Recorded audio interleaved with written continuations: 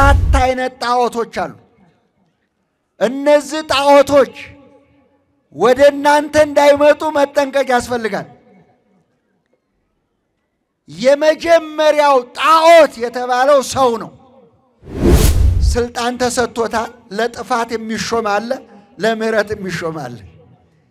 የጥፋት ስልጣን የተሰጣቸው አለ፣ ደግሞ ለምህረት ህዝብን የሚባርክ ህዝብን የሚያስደስት አገርን የሚመራ ስልጣን የተሰጣችሁ አለ። በሀብታችሁ፣ በጉልበታችሁ፣ በገንዘባችሁ፣ በእውቀታችሁ የተመካችሁ ይህን አንብቡ።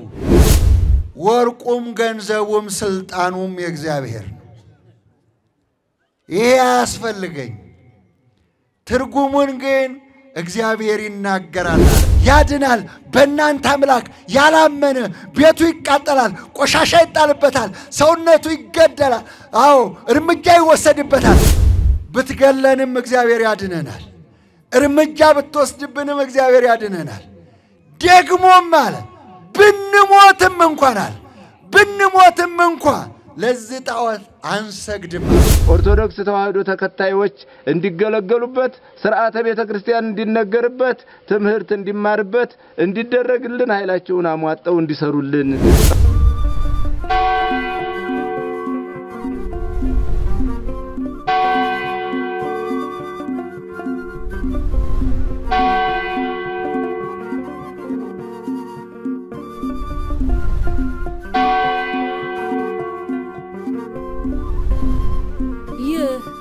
የእማማ ሚዲያ ነው። ራዕያችን የተዋህዶ ሃይማኖታችንን ማስፋፋት፣ ቤተ ክርስቲያናችንንም መጠበቅ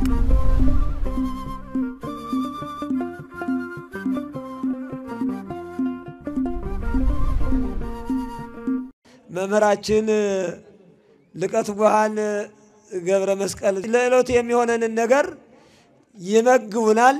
ወደ እሳቸው ቀጥታ ወስዳቸዋለሁ። ለእሳቸው ተናጋሪ አንደበትን ለሌና ለእናንተ ደግሞ ሰሚ ጆሮ እግዚአብሔር አምላካችን ይስጠን።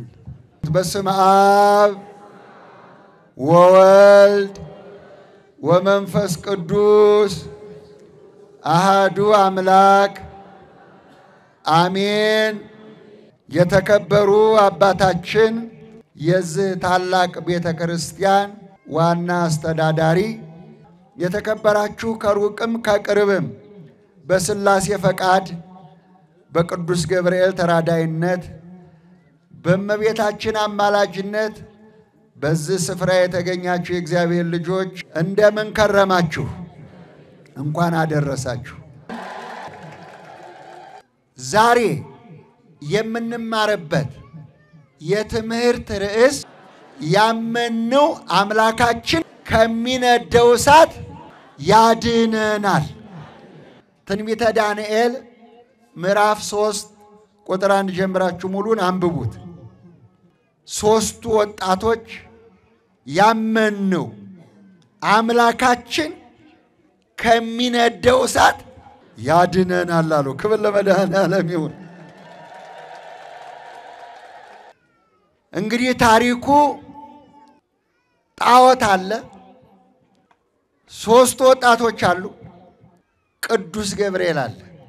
ሦስቱንም እናያለን። እነኚህ ሦስት ወጣቶች አናንያ፣ አዛርያ፣ ሚሳኤል ይባላሉ። እንግዲህ እነዚህ ሦስቱ ወጣቶች እንዲሁም አራተኛው ታላቁ ነቢይ ዳንኤል በምርኮ ነው ወደ ባቢሎን የተወሰዱት። እግዚአብሔር ከምርኮ ያድናችሁ፣ ከምርኮ ያድነን። በኃጢአት ተመማረክ፣ በኃጢአት ከመውደቅ እግዚአብሔር ያድነን እና ንጉሡ ኢዮአቄም በነገሰበት ዘመን በንጉሡ ፊት መቆም እንዲችሉ ማገልገል እንዲችሉ ሦስት ዓመት እንዲሰለጥኑ ተደረገ። ቋንቋ እንዲማሩ ተደረገ። ደግሞ ንጉሡ የሚበላውን ንጉሡ የሚጠጣውን የንጉሡን ምግብ እንዲመገቡ ተወስኖላቸው ነበር። አናንያ፣ ዛራያ፣ ሚሳኤል፣ ነቢዩ ዳንኤል ጥበብ የሞላባቸው እውቀት የሞላባቸው እውቀት ያላቸው በመንፈስ የነቁ ስለሆነ እግዚአብሔርን የሚያምኑ ስለሆነ ከእግዚአብሔር ጋር ለመጣበቅ ስለወሰኑ የንጉሡ የተፈቀደልንን ምግብ ብንበላሉ እግዚአብሔር ላይሰማን ይችላል። ስለዚህ ለመጋቢው እባክህ እንለምንህ ከቤተ መንግሥት የመጣውን ምግብ አንበላም፣ አንጠጣም። ከቤተ መንግሥት ምግብ ይልቅ ጥራጥሬ ይሻለናል ብለው ጥራጥሬ መረጡ። መጋቢው ሰው ደግሞ ከመንግሥት የተመደበው ሰው አይ እናንተ ሰዎች ነገ ጠቁራችሁ ከስታችሁ ብትገኙ መንግሥት እኔን ያስረኛል፣ እርምጃ ይወስድብኛል። ስለዚህ አይሆንም አላቸው። በል እንግዲያው እነዚህ ከቤተ መንግሥት የመጣውን ምግብ የሚበሉትንና እኛ ደግሞ በጥራጥሬ የቆየነውን ሰው አስር ቀን ፈትነን አሉት። እሺ ብለው በዚህ ተስማሙ። በአስር ቀን ውስጥ ጥሬ እየበሉ ጮማ ከሚቆርጡት ጠጅ ከሚያንቆረቁሩት ይልቅ የአናንያ ዛራያ ሚሳኤል የዳንኤል ፊታቸው በራ። ክብር ለመድኃኔዓለም ይሁን። ግርማ ሞገሳቸው ከፍ እያለ ጥበብ እየሞላባቸው እግዚአብሔር ከእነሱ ጋር እየተነጋገረ ጸጋ በጸጋ ላይ ተሰጥቷቸው እየከበሩ ፊታቸው እያበራ የተሻለ ውበት ተገኝቶባቸዋል። በሉ እንግዲህ እናንተ እንዳላችሁ እግዚአብሔር ከእናንተ ጋር ይሁን፣ የጠየቃችሁትን ጥራጥሬ እሰጣችኋለሁ አላቸው። በዚህ መጋቢው ጋር ተስማሙ።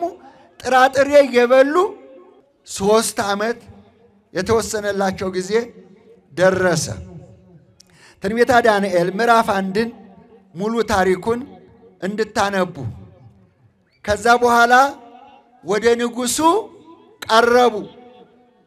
ንጉሡ ናቡከደነጾር እግዚአብሔርን አያውቅም። በእጁ በሰራው ጣዖት ነው የሚያመልከው። እግዚአብሔር ከጣዖት ያድናችሁ።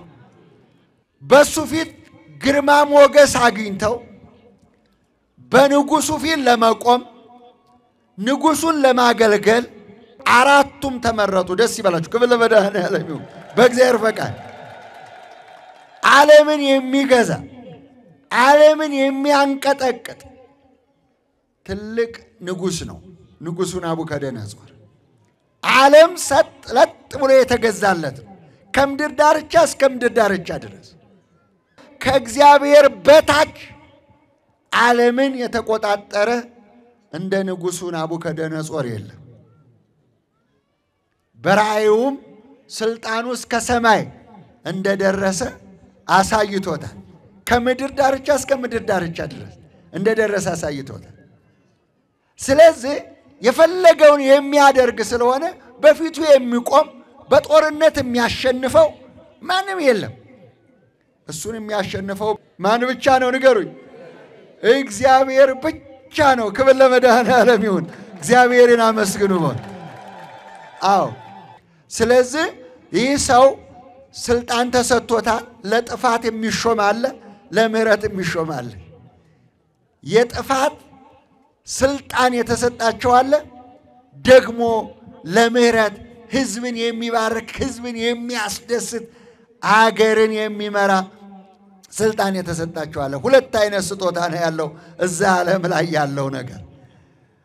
ንጉሡ ናቡከደነጾር አንድ ህልም አየ። ይህንን ህልም ያየውን ህልም መናገር አልቻለም። በአእምሮው ተጽፏል፣ አውጥቶ ግን መናገር አይችልም። ህልሙንም የሚነግረው ፍቹንም የሚተረጉምለት ፈለገ።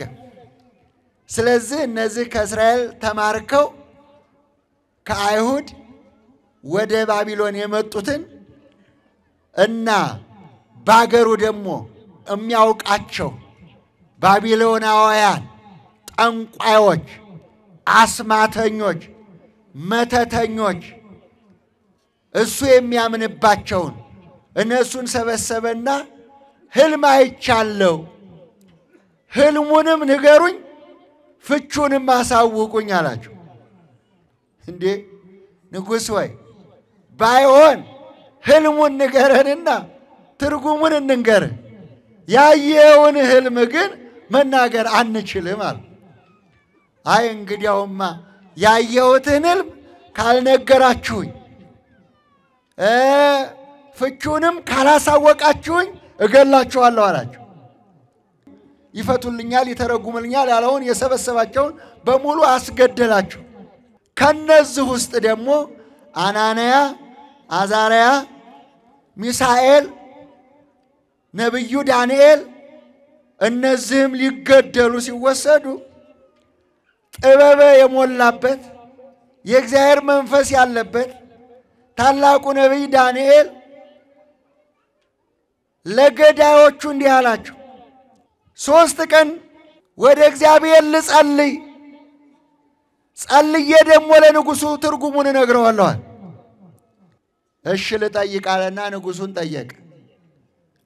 እሺ እስከ ሦስት ቀን ድረስ ይንገሩኛል። ለነቢዩ ለዳንኤል በዕለቱ በዛኑ ዕለት ሌሊት ሕልሙ ይሄ ነው፣ ፍቺውም ይሄ ነው ብሎ እግዚአብሔር ለዳንኤል ገለጸለት። ክብር ለመድኃኔዓለም ይሁን። የተጨነቃችሁበትን የተቸገራችሁበትን ያመናችሁት እግዚአብሔር ይፍታላችሁ። ያመንነው እግዚአብሔር ይፍታልን ወገኖች። በሀገራችንም መፍትሄውን እግዚአብሔር ይዘዝልን። ስለዚህ ለሚያምን ስለሚቻል ለዳንኤል ተቻለው። አሁን ወደ ንጉሡ አቅርበኝ፣ እኔ ንጉሡን ሕልምና ፍቺ እነግረዋለሁ አለ የእግዚአብሔር መልእክተኛ ዳንኤል። ወደ ንጉሡ ገባ። አዎ ንጉሡ ፍቹንም ሕልሙንም እፈልጋለሁ ይሄንን እግዚአብሔር ከገለጸልህና ከነገርከኝ አንተ ከኒ ቀጥሎ ሦስተኛ መንግሥት ነህ አለው። ዳንኤል ግን እንዲህ አለ፣ ወርቁም ገንዘቡም ስልጣኑም የእግዚአብሔር ነው። ይሄ አያስፈልገኝ፣ ትርጉሙን ግን እግዚአብሔር ይናገራል አለ። ክብር ለመድኃኔዓለም ይሁን። ሁልጊዜ ለእግዚአብሔር ስጡት። እግዚአብሔር ይቅደም። እግዚአብሔርን አስቀድሙ። እግዚአብሔር ይናገር በሉ። እግዚአብሔር ያድርግ በሉ።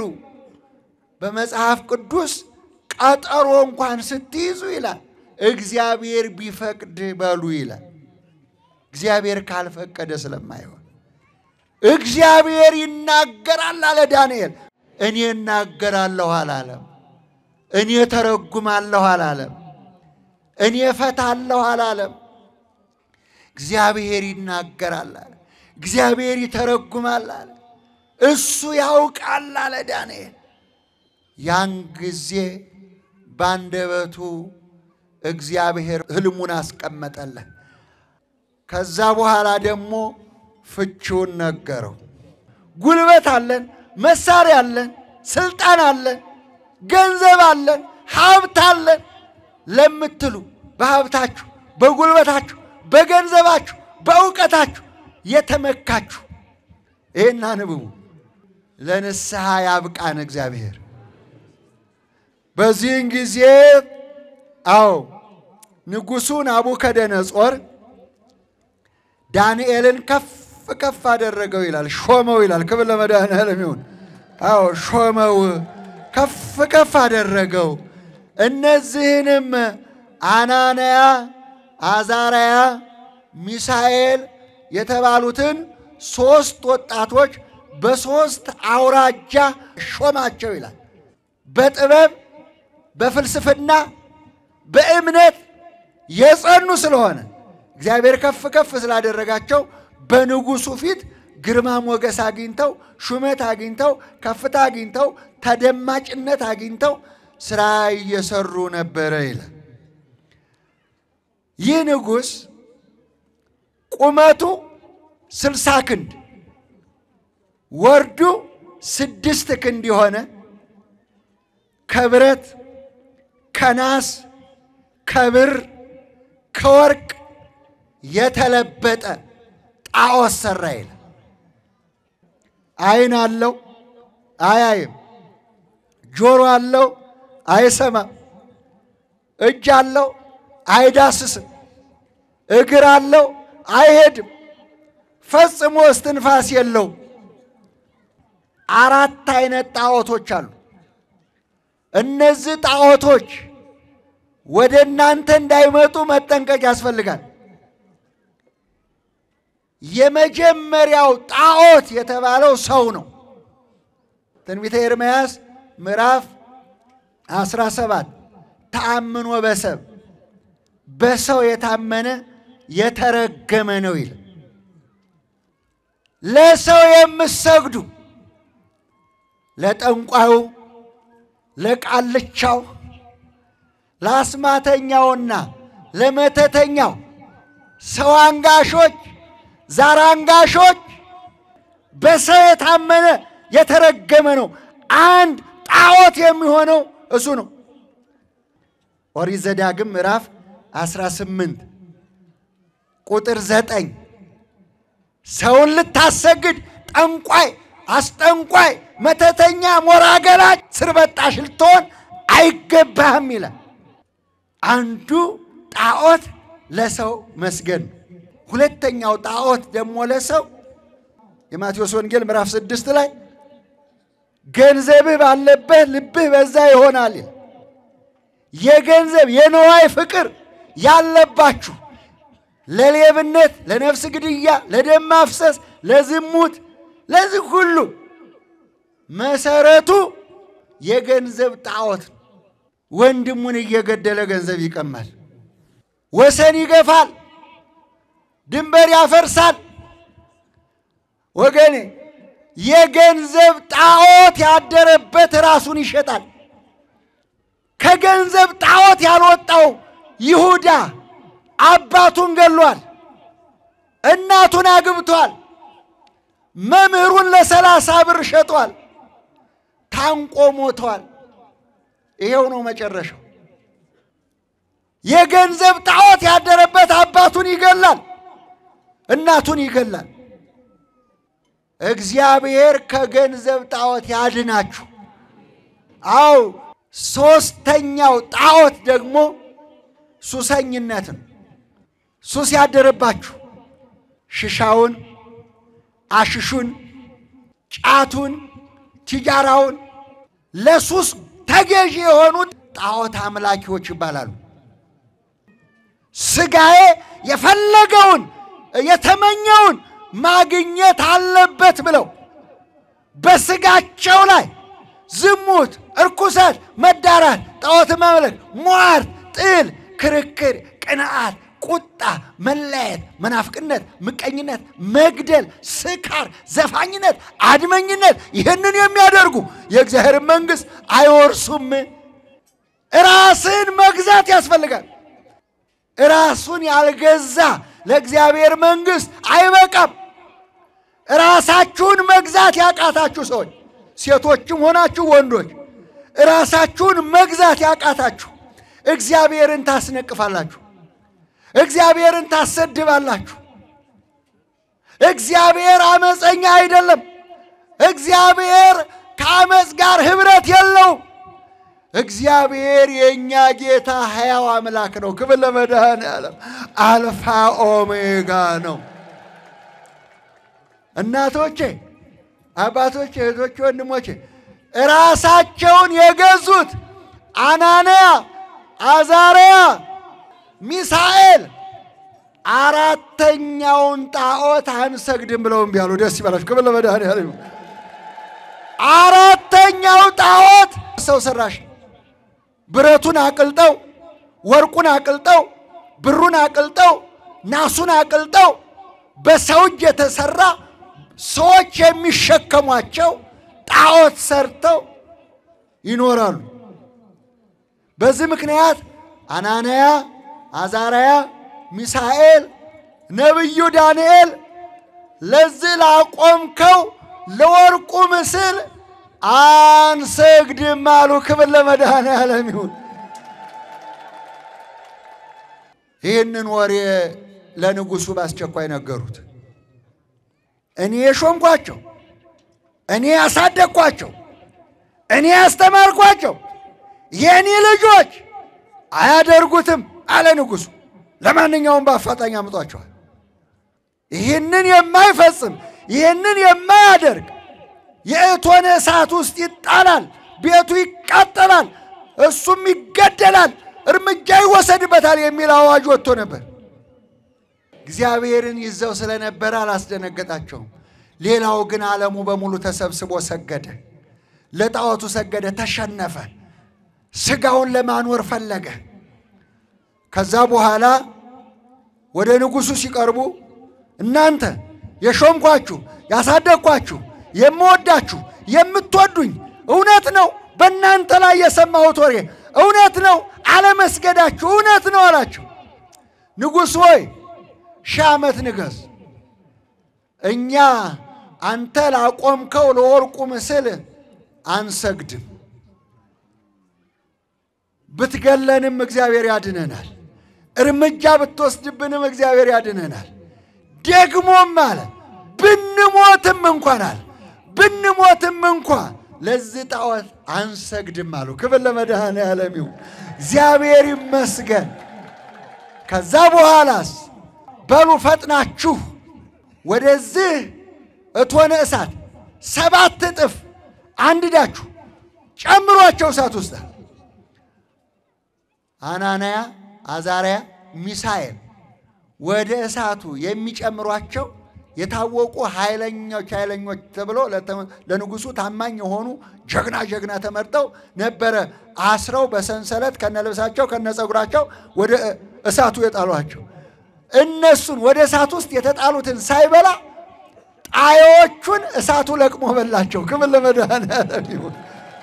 የሚጥሉትን የእሳቱ ወላፈን ይዞ ሲበላ አናንያ፣ አዛርያ፣ ሚሳኤል ግን ከሰማይ የወረደው ከእግዚአብሔር የተላከው ቅዱስ ገብርኤል አራተኛ ሆኖ እሳቱን ውሃ አደረገላቸው። ክብር ለመድኃኔዓለም ይሁን። በእሳት ውስጥ እየተመላለሱ እግዚአብሔርን ያመሰግኑ ነበር። አራተኛው ግን ቅዱስ ገብርኤል ነበር። ከሰማይ የወረደው ከእግዚአብሔር የተላከው እኔ በእግዚአብሔር ፊት የምቆመው ገብርኤል ነኝ፣ ይህንን የምሥራች ነግርህ ዘንድ ከእግዚአብሔር ተልኬአለሁ ያለው ቅዱስ ገብርኤል አራተኛ ሆነ። ደስ ይበላችሁ። ክብር ለመድኃኔዓለም። በእሳቱ ውስጥ እሳቱ እየተንቀለቀለ እሳቱ እየነደደ ቅዱስ ገብርኤል አናንያ፣ አዛርያ፣ ሚሳኤል በእሳት ውስጥ በአጭር ቁመት በጠባብ ደረት ተወስኖ ፍጹም አምላክ ፍጹም ሰው ሆኖ ሰላሳ ሦስት ዓመት ይመላለሳል ሲሉ ሰላሳ ሦስት ጊዜ በእሳት ውስጥ እየተመላለሱ እግዚአብሔርን አመሰገኑ። ደስ ይበላችሁ። ክብር ለመድኃኔዓለም ይሁን። ንጉሡ እሱ ጣሉ ያላቸው ሦስት ነበሩ። እሱ ግን ሲመለከት አራት ሆነው ታየው። አራተኛውም የእግዚአብሔር መልአክ ይመስላል ብሎ መሰክሯል። ክብር ለመድኃኔዓለም ይሁን። ያን ጊዜ አናንያ፣ አዛርያ፣ ሚሳኤል የእናንተ አምላክ ታላቅ ነው አለ ንጉሡ ናቡከደነጾር። ክብር ይሁን። የእናንተ አምላክ ታላቅ ነው። የእናንተ አምላክ ከእሳት ያወጣል፣ ያድናል። በእናንተ አምላክ ያላመነ ቤቱ ይቃጠላል፣ ቆሻሻ ይጣልበታል፣ ሰውነቱ ይገደላል። አዎ እርምጃ ይወሰድበታል። ስለዚህ ከዛሬ ቀን ጀምሮ በአናንያ በአዛርያ በሚሳኤል አምላክ እመኑ ብሎ አዋጁን በአዋጅ ሽሯል። ደስ ይበላችሁ። ክብር ለመድኃኔዓለም። አዋጁ በአዋጅ ተሽሯል። እንግዲህ ወጣቶች ራሳችሁን የገዛችሁ ራሳችሁን ያሸነፋችሁ በእናንተ እግዚአብሔር ይመሰገናል። ደስ ይበላችሁ። ክብር ለመድኃኔዓለም ይሁን። በእነዚህ በሦስት ወጣቶች እግዚአብሔር ተመሰገነ፣ እግዚአብሔር ከፍ ከፍ አለ፣ ቅዱስ ገብርኤል ከበረ። ክብር ለመድኃኔዓለም ይሁን። አዎ እግዚአብሔር አምላካችን በኑሯችሁ እሳት የሆነባችሁ ፍቅር ያጣችሁ፣ ሰላም ያጣችሁ አምላከ ቅዱስ ገብርኤል ያጥፋላችሁ። አምላከ ቅዱስ ገብርኤል ይድረስላችሁ። አዎ እነዚህን ሦስት ወጣቶች ከእሳት እንዳወጣቸው ኢትዮጵያን ከዚህ እሳት ያድናት። አምላከ ቅዱስ ገብርኤል ያድን፣ እሳቱን ያጥፋልን። ያመነው አምላካችን ከሚነደው እሳት ያድነናል። ክብር ለመድኃኔዓለም ይሁን። የእግዚአብሔር መልአክ በሚፈሩት ሰዎች ዙሪያ ይሰፍራል ያድናቸውማል ነው የሚለው ነቢየ እግዚአብሔር ቅዱስ ዳዊት በመዝሙር 33 ተጽፎ እንደምናገኘው እነሆ በዕድሜ ትንሽ የሆኑት በአስተሳሰብ የበሰሉት የጠነከሩት እግዚአብሔርን ገንዘብ ያደረጉት ሦስቱ ሕፃናት ኖ የእግዚአብሔርን መልአክ ስላከበሩት ስለፈሩት እግዚአብሔርን ስላከበሩ ስለፈሩ ለጣዖት አንሰግድም ብለው ለተራ ንጉሥ አይደለም ዓለም ለሚሰግድለት ንጉሥ ለናቡከደነጾር ክርስትናቸውን የገለጡ እግዚአብሔርም የተቤዣቸው መልአኩን ልኮ የታደጋቸው እነሆ እግዚአብሔርን መፍራት በልቦናቸው ስላሳደሩ ነው። መላእክትን ማክበር፣ መፍራት፣ መስገድ፣ መታዘዝ በልባቸው ስላሳደሩ ነው። ቅድም እንዳልኩት የእግዚአብሔር መልአክ በሚፈሩት ሰዎች ዙሪያ ይሰፍራል ያድናቸውማል ነው። ስለዚህ መምህራችን ገብረ መስቀል በደንብ አድርገው አስተምረውናል። እግዚአብሔርን መፍራት፣ ቅዱሳን መላእክትን መፍራት፣ ማክበር ከሚነደው እሳት ያድናል። ለዚህም አብነት የሆኑት እነኚህ ሦስቱ ሕፃናት ናቸው። ሦስት ሆነው ወደ እሳቱ ተላኩ። ነገር ግን አራተኛው የብርሃን መልአክ ሆኖ ለንጉሡ የታየው ቅዱስ ገብርኤል አዳናቸው። ስለዚህ ምዕመናን ዛሬ የመላእክትን ጠባቂነት ተምረናልና ሦስቱን ሕፃናት የታደገ ቅዱስ ገብርኤል በተለያየ ምክንያት በቤታችን፣ በኑሯችን፣ በስራችን፣ በአገራችን በተለያዩ ምክንያት የሚነዱብን እሳት እሱ እንዲያጠፋልን የእሱ መልካም ፈቃድ ይሆንልን። ለአባታችን ቃለ ሕይወት ያሰማልን፣ ረጅም ዕድሜ ከሙሉ ጤንነት ጋር ይስጥልን። የሰማነውን በልቦናችን ያሳድርብን። ኖ በሰማነው የሕይወት ቃል ሰላሳ ስሳ መቶ ያማረ ፍሬ እንድናፈራ አምላካችን ይርዳን። የሕፃናቱ አምላክ የሽማግሌዎቹ አምላክ የአባቶቻችን የደጋጎቹ አምላክ ሀገራችን ኢትዮጵያን ሰላም ያደርግልን። እነሆ የታጠነውን ማይጠንት የተጸለየውን ጸሎት የተቆመውን ቁመት የምናቀርበውን መስዋዕት ተቀብሎ ለቅድስት ሀገር ኢትዮጵያ ሰላሟን ለሕዝቡ መጽናናትን፣ ረድኤትን፣ በረከትን፣ ሰላምን ይስጥልን። እስከዚህ ሰዓት አድርሶናልና ምስጋና የባህሪ ገንዘቡ ነውና ቅዱስ የሆነ አምላክ ነው እንዲህ እያልን እናመሰግነዋለን። አባታችን ሆይ አይናችን ነሽ ማርያም አንቺን አይንኩብን፣ የተዋህዶ ልጆች እንወድሻለን። በዓለም አቀፍ ያላችሁ የተዋህዶ ልጆች ይህን ጩኸት እንድሰሙ ይህን ጥሪ እንድሰሙ እንድታዳምጡ መልስ እንድሰጡ እፈልጋለሁ። እንግዲህ የችን ቤተ ክርስቲያን ለመርዳት የባንክ ቁጥራቸው ንግድ ባንክ በቀጥታ እንድታስገቡ ነው የምፈልገው። ስልካቸው ይኸው፣ ባንክ ቁጥራቸው ይኸው፣ ስሙ ይኸው። በቀጥታ የትም ዓለም ላይ ሆናችሁ ለገጠር ቤተ ክርስቲያን የምረዱ አላችሁ። ገጠሪቱ ይችናል። ከዚህ የበለጠ ደግሞ ገጠር ቤተ ክርስቲያን የለም።